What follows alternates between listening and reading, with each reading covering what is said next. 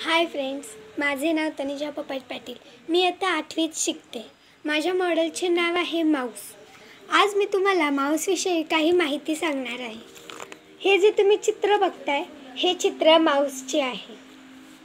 Mouse हे संगणकाला माहिती पुरवण्याचे एक उपकरण आहे. तुम्हाला माऊसचा फुलफॉर्म माहिती आहे का? माऊसचा फुलफॉर्म आहे manually operated utility for selecting equipment. पण आपल्याला आपण नेहमी याला माऊस असं शॉर्ट फॉर्ममध्येच बोलत असतो. तुम्ही जर कॉम्प्युटर चालवला असेल तेव्हा बघत असाल जेव्हा आपण माऊस इकडे तिकडे हलवतो तेव्हा स्क्रीनवरती एक ॲरो इकडे तिकडे फिरताना दिसत असतो.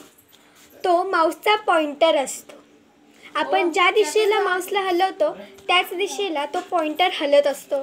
त्याच्यामुळे आपल्याला एखादी गोष्ट सिलेक्ट करणे सहज सोपे होते. पहिल्या काळातील माऊसना तीन बटन असायचे. पण आत्ताच्या सध्याच्या काळातील माऊसला दोन बटन आणि एक स्क्रोल व्हील असते.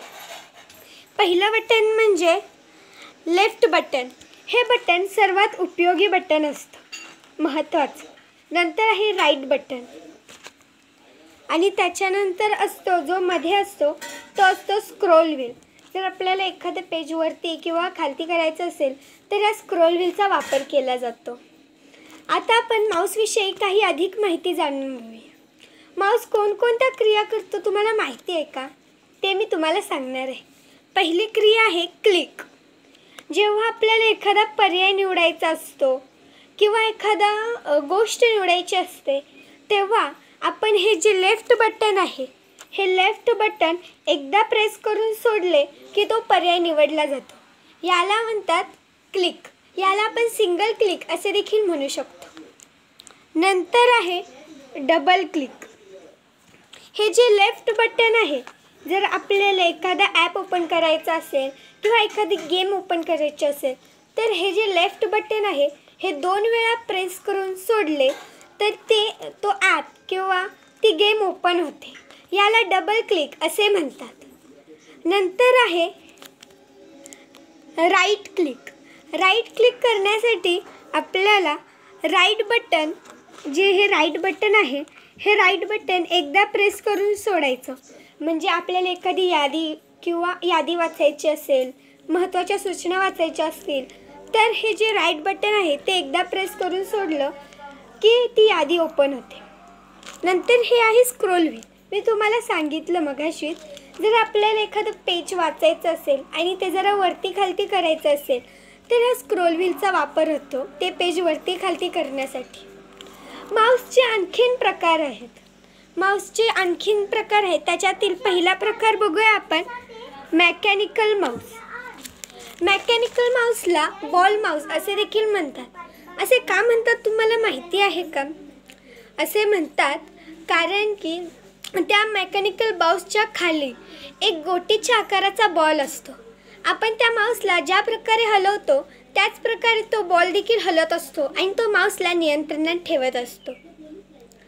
नंतर जा नंतरचा जो माऊसचा प्रकार आहे तो म्हणजे ऑप्टिकल माऊस ऑप्टिकल माऊस ह्याला या ह्याची वायर सी पी ओशी जोडलेली असते. ऑप्टिकल माऊसच्या माऊसमधून एक लाइट बाहेर येत असते. ती लाइट ऑप्टिकल माऊसला नियंत्रणात ठेवत असते म्हणजेच ती त्याला ऑपरेट करत असते. नंतरचा जो माऊस आहे तो आहे कार्डलेस माऊस. या माऊसला वायरलेस माऊस असे देखील म्हणतात कारण की ह्या माऊसला वायर नसते. मगाशी जे आपण दोन प्रकार बघितले ऑप्टिकल माऊस आणि मेकॅनिकल माऊस यांना वायर असते. परंतु हा जो आहे कार्डलेस माऊस ह्याला वायर नसते. म्हणूनच याला वायरलेस माऊस असे देखील म्हणतात. या माऊससोबत एक चीफ असते.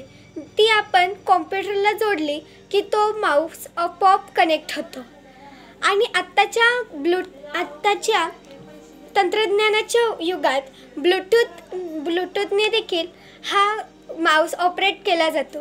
ब्लूटूथ ऑन करून ते कॉम्प्युटरला कनेक्ट केल्यास हा माऊस ऑपरेट होतो. हे आहेत माऊसचे प्रकार. माऊसच्या माऊसमुळे काय काय आपण करू शकतो?